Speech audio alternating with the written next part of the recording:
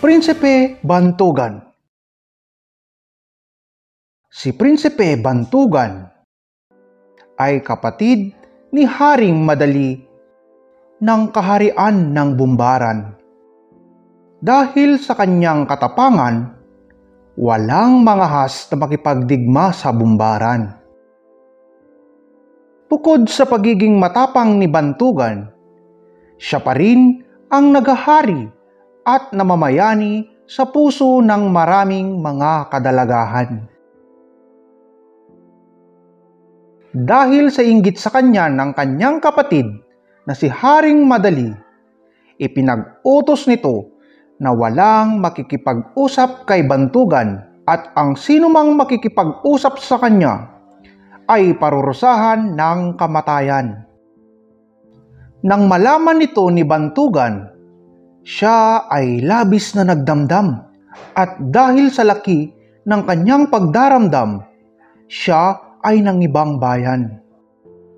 Dahil sa matinding pagod sa paglalakbay kung saan-saan, si Bantugan ay nagkasakit hanggang sa siya ay abutin ng kamatayan sa pintuan ng palasyo ng kaharian ng lupaing nasa pagitan ng dalawang dagat nang matagpuan siya ni Prinsipe Datimbang at ng kapatid nitong hari, sila ay nagulumihanan sapagkat hindi nila kilala si Bantugan.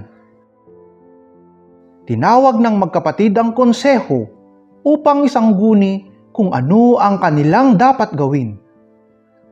Habang sila ay nag-uusap, isang luro ang dumating sa bulwagan at sinabi sa kanilang siya ay galing sa kaharian ng Bumbaran at ang bangkay ay ang mabunying prinsipe bantugan ng Bumbaran. Nang magbalik ang luro sa Bumbaran, ay ibinalita niya kay Haring Madali ang pagkamatay ni Bantugan.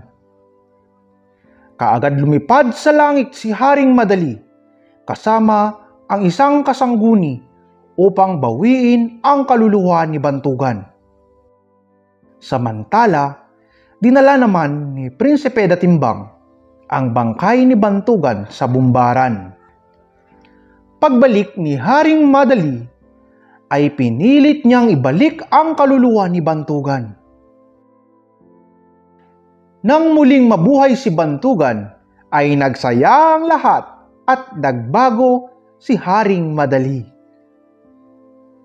Nang mabalitaan ni Haring Miskuyaw, kaaway ni Haring Madali na si Bantugan ay namatay, lumusob si Haring Miskuyaw kasama ang marami niyang kawal sa bumbaran. Dumating ang pangkat ni Miskuyaw sa bumbaran na kasalukuyang nagdiriwang dahil sa pagkabuhay na muli ni Bantugan na hindi nalalaman ni Miskuyaw. Natigil ang pagdiriwang at ito ay napalitan ng paglalabanan.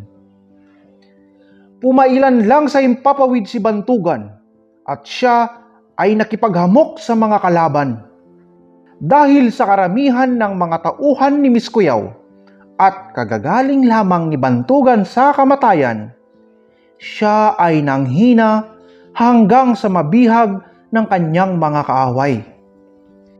Siya ay iginapos, subalit unti-unti ring nagbalik ang kanyang lakas ng makapagpahinga.